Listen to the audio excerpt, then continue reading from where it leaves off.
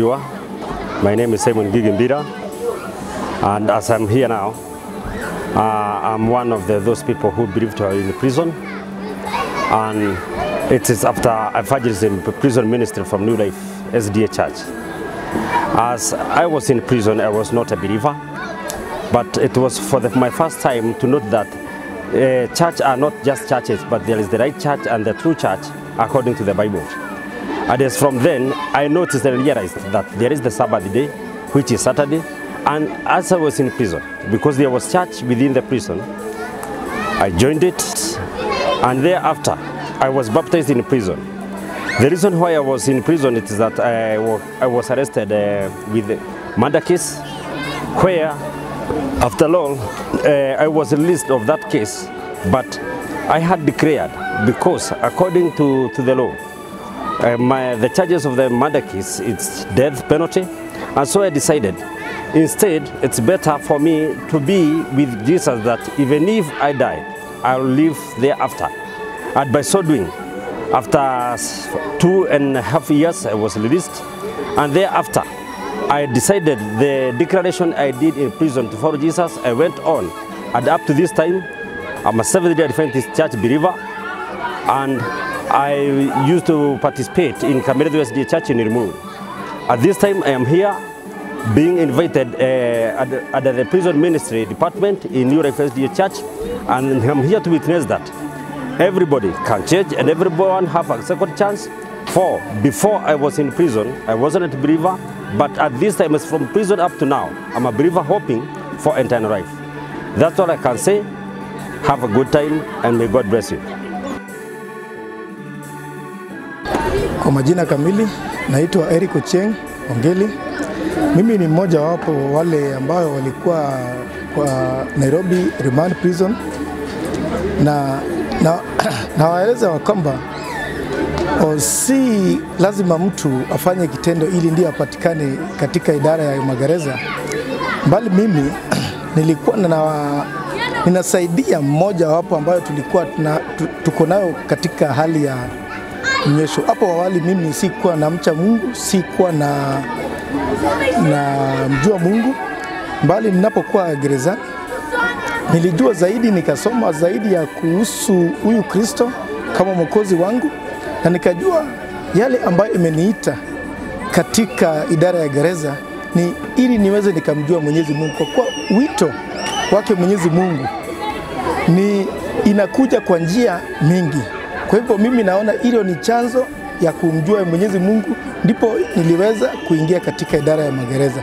Mimi mwanzo kabla sijashikwa nilikuwa mtu wa ma, sigara, pombe nilikuwa na kunywa na mbali o, yale chanzo ambayo ilifanya sasa nikaingia katika idara ya gereza, nilikuwa nasaidia na ambapo kusaidia kwangu ilikuwa nasaidia mwizi, ambapo mimi sasa wananichukua kama mwizi na kaenda kampiga yule mwenye nilikuwa na toanisha ili wasipigane na mwenzio, ambapo alikuwa anataka kumnyang'anya.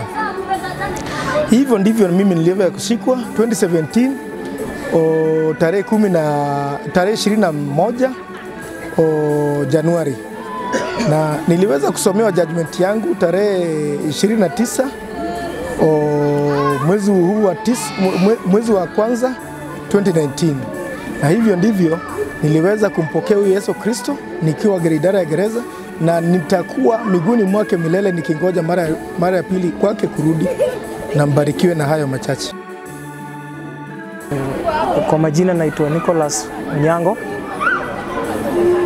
E, ninatoka katika kaunti ya Kisumu. Okay, niliweza kuingia gerezani mwaka wa tisini na tisini na nane niliweza kuingia gerezani. Wakati niliingia nilistakiwa na kesi ya robbery stroke 2 na mada, na nilikuwa naweza kufanya kesi na maiti ambapo sikukuwa namuona nilikuwa naweza fanya na yeye kesi. Nilikuwa katika koti ya Makadara, nikaweza kupewa transfer kurudi kwa koti ya Milimani Law Court. Watu wa Milimani sikufanya kesi nao, wakaweza kuniwachilia Disemba tarehe saba 2017 ndo wameweza kuniwachilia. Na kuhusu upande ya kanisa na kuhusu upande ya kanisa nimeweza kukutana na kanisa hii 203 nikiwa niko kamiti, nimeweza kukutana na kanisa la SDA. Mimi nilikuwa Mkatholik na niliweza kubadilika kwa sababu zile mafunzo nilikuwa napata pale ilinibadilisha, kwa sababu pia sikukuwa mtu mzuri sana. So hizi mafunzo ziliweza kunibadilisha nikaweza kukua mtu wa SDA, na ombi langu ile niko nayo ni ombi mbili peke yake. Kwanza ninaanza na kiongozi wa taifa Bwana Mheshimiwa Uhuru Kenyatta, president wetu, aweze kutufuatilia kwa sababu saa hii ile life tuko tuko kwa life mbaya, kama watu wametoka prison. Kwa hii serikali yake hatuwezi pata hata good conduct kwanza. Example, mtu kama mimi nimeenda mpaka kutini nikalipa proceedings zangu, sijapewa mpaka wa leo, sina hata good conduct. Kuna mali naweza andikwa kazi kama sina good conduct, na mimi ni dereva natafuta kazi na nimekosa kazi. Hakuna mwenye anaweza kuandika bila good conduct, na juu tulikuwa tumesa, tume, tumekosa juu nilikuwa nimekosa na nimegeuka nikakuwa mtu mzuri, serikali inafaa kunijali niweze kupata stakabadhi zangu, ndio niweze kupata kazi ya kujikimu kimaisha. Asanteni. Kwa majina anaitwa Nicholas Otieno Kowiro kutoka kule South Nyanza. E, uh, nikielezea kuhusu stori yangu, nimekuwa kwa prison, niliweza kushikwa 2016 Januari. Niliweza kushtakiwa na robbery with violence stroke rape. Uh, niliweza kubeba msichana fulani akanipeleka mahali kuna watu wake walikuwa wanataka kuniibia pikipiki, lakini kwa sababu haikuwezekana wakanigeuzia ya kwamba mimi ndio nilikuwa nataka kumwibia. Kwa hivyo pale niliweza kushikwa, kapelekwa gerezani. Pale niliweza kukataa, nikaendelea kufanya kesi yangu kutoka 2016 nikajaribu kuitisha bond, nikapatiwa bond, nikalipa bond, nikatoka. Lakini baada ya kutoka, kabla nitoke nikiwa gerezani, nilikuwa ninaomba sana, sababu gerezani kuna maombi kwa pale, kuna makanisa ziko gerezani. Nilijiunga na kanisa ya SDA Church nikapata kuomba pamoja nao, Mungu akanifungulia njia, nikatoka hiyo hiyo 2016. Eh, baada ya kutoka 2016 eh, nilitoka nje tena nikamwacha Mungu eh, nikamgeuzia mgongo. Sikumaliza wiki moja kurudi kotini, nikaongezewa kesi ingine, nikashikwa tena pale pale kotini kutoka hiyo 2016 hadi hii 2019. Niliweza kushtakiwa tena na robbery with violence stroke 2 ambao nilipelekwa kwa koti ya JKIA International Airport. Pale ndipo nilikuja ku, kukuwa na mshtuko kubwa sana, kwa sababu wakati nilisomewa eh, plea kesi yangu niliweza kuambiwa kwamba kesi ikinipata na hatia hukumu yake ni kunyongwa. Nilikuwa na changamoto mingi pale sana, nikachukuliwa pale nikapelekwa remand Indasoleria prison. Pale ndipo nilichukua mpaka kamba nikijaribu kutaka kujitoa uhai, lakini haikuwezekana mahali pale. Lakini kuna siku moja eh, nilipatana na kijana mmoja pale kwa idara ya magereza akanishika mkono. Eh, nakumbuka vizuri sana, kuna mafunzo ilikuja pale, ilikuwa inaitwa Amazing Facts ambayo ilikuwa ni, eh, ni Bible prophecy na walikuwa nafunza kuhusu prophecy. Pale nilipata kuungana nao pahali pale ni SDA, kanisa la SDA. Wakati niliungana nao pale ndipo nilipata kuona mwangaza na nikapata kumshikilia eh, maneno ya Mungu, nikahudumu katika hiyo gereza eh, tangu hiyo 2017 eh, nikafanya eh, kama deacon kwa idara ya magereza uh, nikatoka deacon nikaenda head deacon mpaka nikamalizia nikiwa coordinator wa kanisa wa inda, ya Indasoleria uh, prison. lakini nilikuja kujua kitu moja ya kwamba uh, Mungu ni wa maajabu kwa sababu uh, anaweza tumia mbinu yoyote ili akurudishe kwa njia ama akurekebishe. Nilikuja nikajua ya kwamba I backslided na alikuwa nataka nijue ukweli ili niweze kumfuata, na tangu nimjue eh, sina budi kusema ya kwamba sitamwacha kamwe, nitaendelea kumfuata. Eh, ingawaji hata nilikuwa acquitted na section 215 wakati nilitoka, bado ninapata changamoto tukiwa huku nje kwa sababu eh, unakuta ya kwamba eh, ukitoka katika idara ya magereza hakuna mtu wowote anakutaka eh, kila mtu anakuita mwizi. Ukijaribu kuuliza kazi hata mtaa mahali ulikuwa unaishi, wanakuogopa wakisema ya kwamba wewe ni mwizi.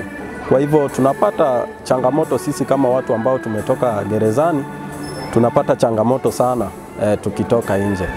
Kwa hivyo ninaomba eh, kama inawezekana eh, kanisa ya New Life ime imetukuza imetu, imetutoa chini eh, mahali tulikuwa chini hadi wakati eh, mahali nimefika.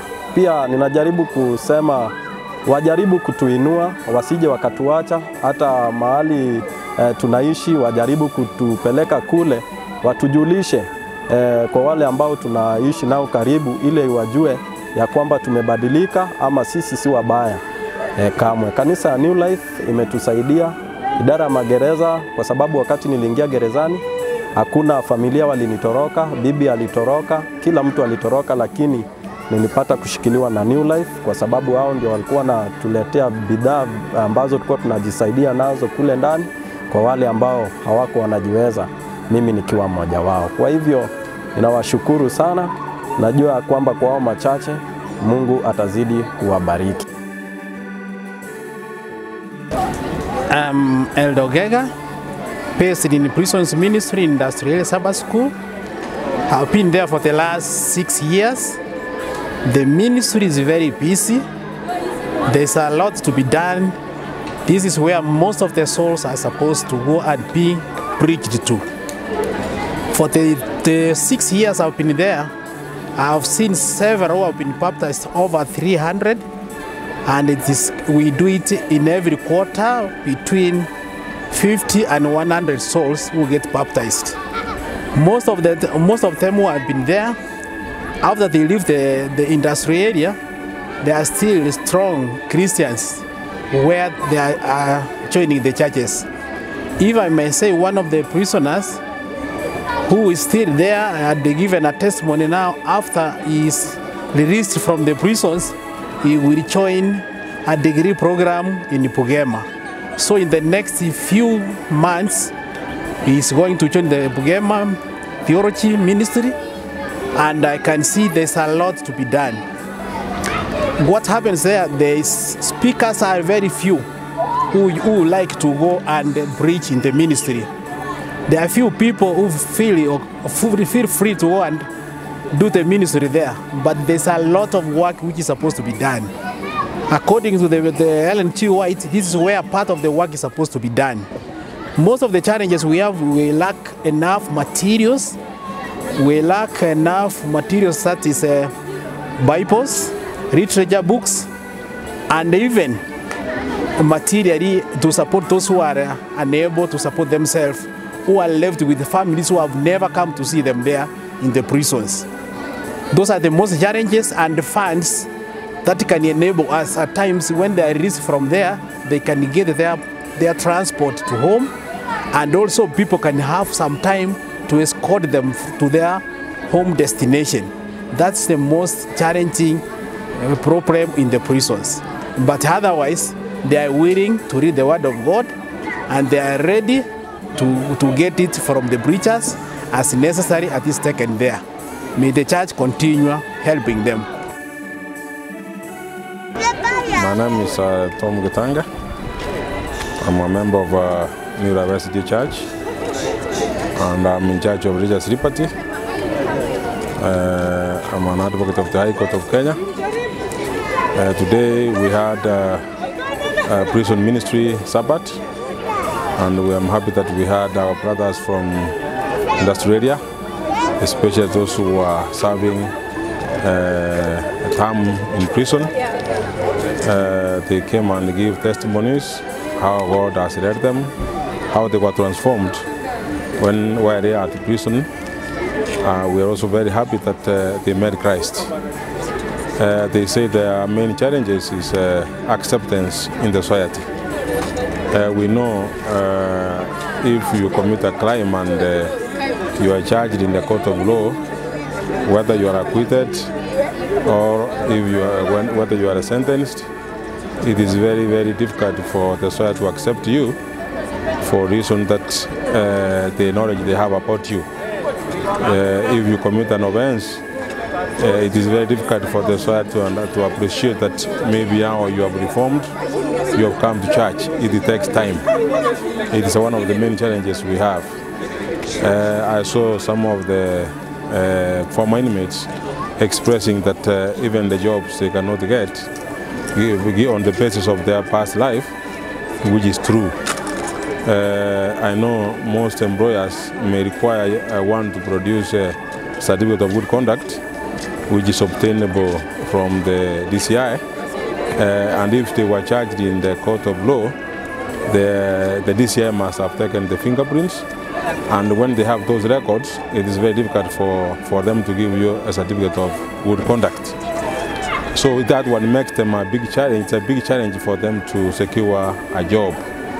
Uh, but what I know is that if uh, one is charged and is maybe acquitted, he can still go to the DCI and uh, be able to convince them that uh, although he was charged, uh, he was not found guilty, he was acquitted, and they can be able to produce the copy of the judgment to enable the DCI to change the records and give, provide a certificate of conduct. But this cannot be done immediately. It takes a, it takes a while. It takes a while for the for the for, for one to get a certificate of conduct, especially when you are charged. Uh, if uh, a person has been acquitted, uh, has served this term in prison or has been acquitted, there are many options in life which one can pursue. He can, uh, now uh, be engaged in business. Uh, can uh, can be able to uh, expand some, some some business like now uh, poultry. He can do agriculture, so so that he can generate some income. Because that's not the end of life. Life has to continue, and these people, uh, I will encourage them highly that they need to come back to society, and it's also important for the society to change the mindset that these people are criminals. We are all children of God, and the Bible says that oh, we are all sinners. We have fallen short of the glory of God. And now it is important that uh, we appreciate our brothers and sisters when uh, they have come out of the prison, when they, have, uh, they are on the way to, re- to reform or they have reformed. It's good to appreciate them and accept them as a part of our members in the society. We also encourage the, the people, that the demandees, the former demandees, when they come out, it's good that they, they come to church, they be involved in church activities so that they can be integrated to the community. Thank you very much.